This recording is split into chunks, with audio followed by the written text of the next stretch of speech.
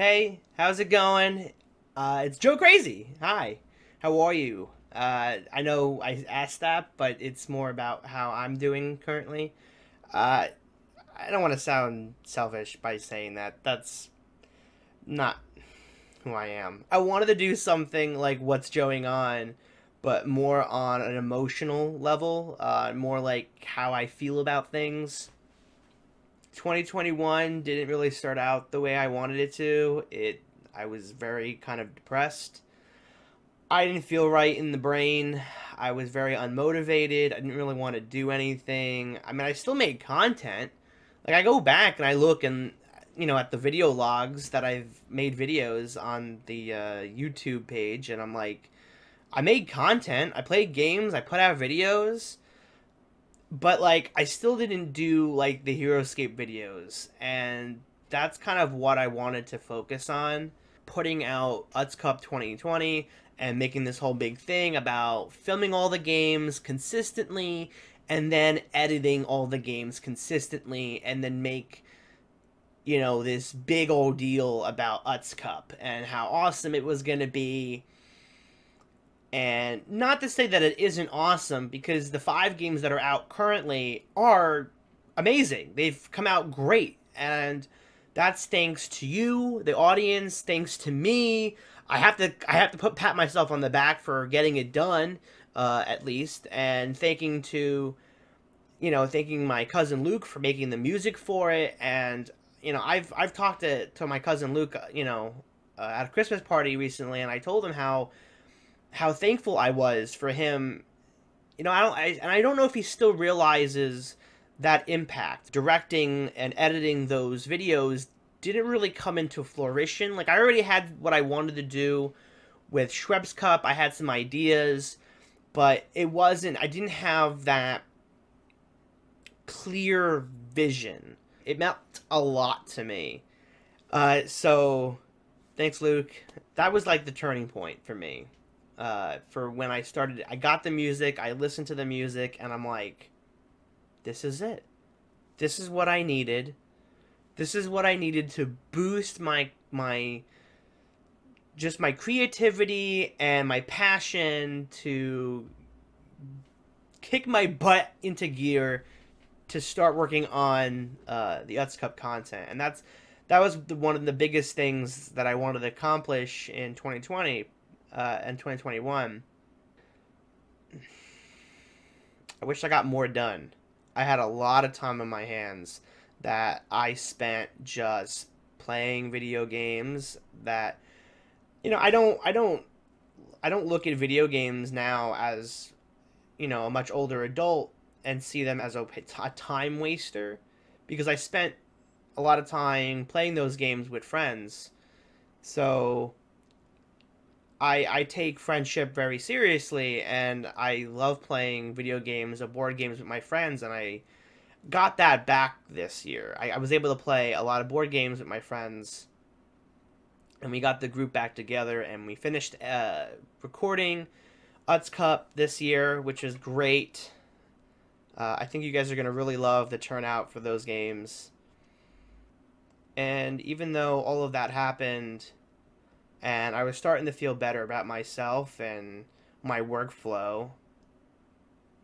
Something definitely kicked me again, even though I had COVID and it kind of like went through me. It was fine. It's whatever. And then my mom had gotten it, had gotten COVID, and she took a big hit with it. And but she's fine.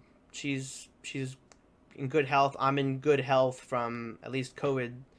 Other than, I, I guess, I chocolate doesn't taste right for me.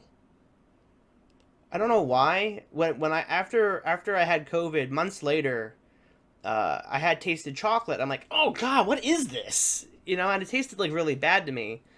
Um, and it still tastes as bad to me. So I don't know. I don't know what that's about. Maybe my taste buds are just changing. I, I'm I'm just unsure. And then my cousins got COVID. And, you know, after myself and my mom had went through it, you know, our response was okay, you got COVID. Okay, you'll get through this. It's fine. You know, you'll just take your get your rest. You know, take the medicine. Just stay indoors. You, they can work from home. It's no big deal. It's whatever. And then one night, I was playing uh, video games with my buddy John, and it was a late night, and I heard a lot of rustling and talking on the phone, and the, the, the phone, the talking on the phone was getting louder, and I opened up the door and I said, "What's going on? It's like late. It's like almost going on one in the in the morning." And it was my cousin Sam calling my mom that uh, my cousin Stephanie was not breathing, and uh, he had called um, the ambulance to come pick her up, and she was unresponsive. And they brought her to um, the hospital, and and they said that she she wasn't breathing for like a while. Um, and uh, she was in the hospital for I think it was two months, and she was she never woke up.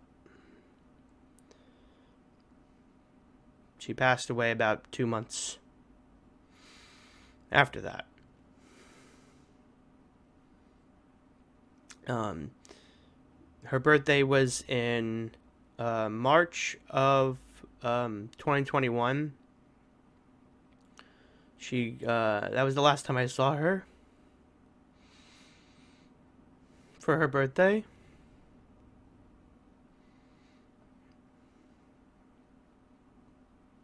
I don't want to dwindle on that too much. I just kind of wanted to say that's what happened. And it makes me very sad. And we are trying to move past that and just keep her memory uh, alive and keeping her her what she uh, the memories that she left behind with with me and my family. I haven't talked about her in a while. That hurt. It took me a long time to to to get that back. To get to to forget not to forget, but it was something that um, I would go to work because the night the night she went to the hospital, I never fell asleep. I stood up the entire night and I tried to play games and talk to my buddy John. I'm so grateful that he was there for me. Um, I, I went to work the next day because I actually had to get up early. I think I had like an eight o'clock shift or something, and I just went to work, worked my entire day, um, and uh, and after that, you know, two months, and she passed away, and then a two, three, four months down the line, every day I would be I would just think of her and remember that oh yeah, that's that's right. She's not with us anymore, and I would just kind of tear up. Uh, that was tough. Death's not easy. No, it is not. All right, so the only thing I can think of right now is to talk about, and to get off of that, is um, HeroScape content. I want to try to make more different types of content because um, I think I think looking at uh, video games, looking at video games and how they make uh, videos. Um, so, for example, like uh, Minecraft has so many different types of content creators. So there's the people that do play survival. There's the people that play creative. There's the people that play the adventure games. There's people that build maps, uh, uh, Redstone uh, videos. There is um, people that build different game modes for that, for Minecraft. Uh, texture packs. There's a lot of a lot of different content creators, a lot of options for con- making content So I use I use Minecraft as an example because to HeroScape, because HeroScape to me has a lot of that type of potential. So you can make maps with HeroScape. There's storytellers, I'm sure, out there that would love to make content about different stories within HeroScape. Uh, very similar to Tales of Valhalla. Um, he does a great job. He, he does stop motion. Uh, there are people out there making battle videos, had them people just playing the game, and you can do that in so many different ways. You can play different game modes. You can play different maps. Uh, you can play against different people. You can play competitively. You can play casually. You can play custom game modes. Uh, there's there's so much, and then there's the different structures and custom tiles and 3D printing and custom characters. You can make custom characters, and you can make um, you know do challenges and tournaments on all of those things. You could make whatever. And I just, we haven't seen that yet. People were making HeroScape content when the game came out in 2007, and those people haven't been active in seven or eight years. And yeah, Sir HeroScape is out there, thankfully trying to keep the game alive. I wanted to make, I saw you doing it, and I wanted to make content too. MK Plus Ultra pop up, to start making content and I'm like this is wonderful. Like there are more people interested in making content because this this is the only way to bring this game back and bring this into the light of more people. And then I found out about 10 points under. And he started making content. And his content's a little bit different. He doesn't do live action battle videos. He actually records uh, people play online HeroScape. Like I said, so there's Tales of Valhalla does story with HeroScape. There's Sir HeroScape that he makes a bunch of um, uh, battle videos. But I know he's done tutorials on how to play the game before. He does. He's done custom games. He's tried a lot of different things, and I, I give him a lot of credit for that. And then there's MK Plus Ultra, and he started making battle videos. Uh, I know he did a bunch of box opening videos, which is great because that's another way you can go about this. That's that's a way. As long as you got you got people talking about the game, you get people interested. However you want to do it, that's great. I'm so glad that you're making content for the game. That's fantastic. And then a couple months ago, um, my girlfriend was telling me, "Hey, you should download Spotify. There's a bunch of uh, podcasts." And so I started listening to uh, Distractable, which is Markiplier's podcast, and I found Mr. Sunday Movies, and they do the Weekly Planet, and they're talking about movies. And then there's another guy named Nando, and he does movie podcasts. So I started listening to uh, his podcast, which is called Mostly Nitpicking. And then I found, I'm like, you know what? I doubt it. I highly doubt it. But let me just type it in. Let me see what shows up. Uh, HeroScape podcast, Casters of Valhalla. And I go, huh, let me, I gotta listen to this. And I started listening to it. And they take, their take, uh, the guy who runs it is uh, Mike, um, uh, Orc Elf Army 1. And he's got a group of friends, uh, some other people that, that play HeroScape. They take a very competitive way of looking at HeroScape. They talk about power rankings. They talk about uh, strategies. They talk about uh, army combinations. They talk about um, uh, the meta. You know, when they go to Gen Con, which is a big convention um, that they that they have uh, for HeroScape and other board games, and that's this is when they a lot of people from around around the U.S. come and play HeroScape competitively and challenge each other for prizes and stuff and obviously with the pandemic, they they are starting to transition into doing, doing just a uh, a HeroScape only convention called ScapeCon, which I'm I want to go to this year. But anyway, um, so so Mike uh, Casters of Valhalla, I started listening to their podcast, and they take a different look at the game. And like I said, eventually, and I talk about this in the What's Going On, is I eventually want to make a podcast and you know, talk about more than just HeroScape, you know, video games, movies, pop culture, you know, of course HeroScape as well, uh, and other board games. So, you know, future stuff is like super cool. But I'm just talking about like right now and how I feel about the HeroScape community. Um, the Discord page, they have a Discord page. There's a HeroScapers website that is just really old and rickety. I, I don't like using it, but I have been using it and trying to gather information about how to find articles and different content that are that's on there. I do want to make a video about just looking for things on the website because I still can't find an article page about the different game modes that they play at uh, Gen Con or ScapeCon because I don't. Because the one thing that Casters of Valhalla does, and they talk about the different game modes. Um, for example, one of them is called Reverse the Whip. And I'm like, what's that all about? And I'm listening and listening and listening and listening. And I'm like, are they going to explain what Reverse the Whip is? Or like, because like the only thing I really uh, can understand about it is that it's somebody picks an army and then they trade the armies. So you don't want to make an army that's too powerful, but you don't want to make an army that's too weak. And I'm like, well, that's a cool concept. I'd like to play that. But is that is that what that is? Or I, am just unsure. Maybe I'm wrong. I, I don't know.